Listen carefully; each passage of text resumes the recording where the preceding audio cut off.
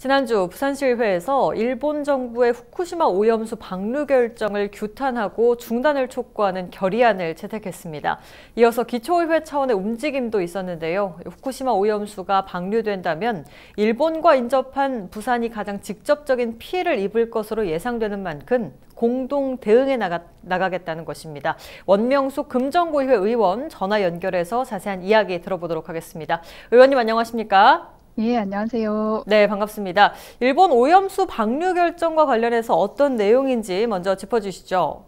최근에 어, 언론에서 그 2011년 후쿠시마 제1원전 사고가 있었잖아요. 네네. 이 관련해서 처리수, 오염수를 바, 방류하겠다라는 결정을 내일 결정하겠다라는 언론 보도가 있었고 이 안에 내용을 보면 실제 이제 오염수 처리 문제에 있어서 자신들이 일본 정부가 좀 뭐 크게 문제 안전성에 크게 문제가 없다라는 얘기를 하고 있는데 네네. 음, 전반적으로 보면 오염수 방사 물질에 대해서 안전성 특히 뭐 삼중수소 트리튬 같은 경우에는 이 뭐 방류 기준치 이하로 희석해서 방출하겠다라는 입장이긴 하지만 이 안전성이 담보되지 않, 않았다 그리고 음. 그거에 대한 근거가 명확하지 않아서 여기에 대해서 이렇게 이제 검증되지 않은 처리수를 방출하는 거에 대해서 이제 문제가 있다라는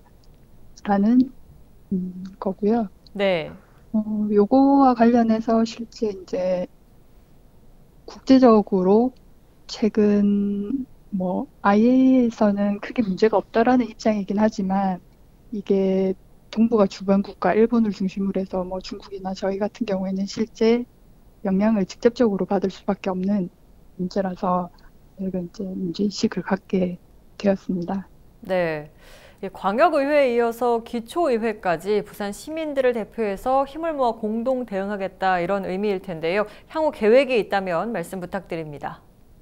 일단 정부 차원에서 지금 뭐 말씀하셨다시피 국감에서도 문제 제기가 있었고, 네네. 일단 뭐 시민사회 단체들도 반대를 하고 있는 것 같고, 이렇게 해서 이제 여론이 저희는 이제 모아질 거라고 생각이 들고, 뭐 정부 차원에서 국무조정실에 TF팀이 구성되면 이제 의견 조율을 할 거고, 어, 일본 정부에도 요, 요구를 할 거라고 생각이 드는데요. 네. 이게 만약에 이 안전성에 대한 문제라든지 실제 이제 저희 같은 경우는 부산은 직접적으로 영향을 받을 수밖에 없기 때문에 이게 만약에 저희 의견이나 안전성이 충분히 담보되지 않은 방류 결정은 반대하는 걸 명확하게 전달할 필요가 있다라고 생각을 하고 여기에서 자치구들끼리 같이 함께 공동행보를 해야 될 필요가 있다라고 하면 시의회하고 자치구하고 같이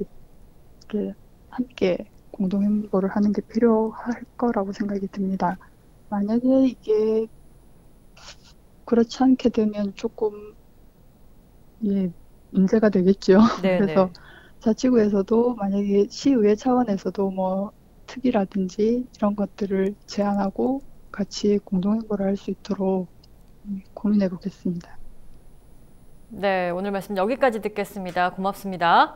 예, 감사합니다. 네, 후쿠시마 오염수 방류 반대와 관련해 의회 차원의 움직임에 대해서 원명숙 금정고의회 의원과 이야기 나눠봤습니다.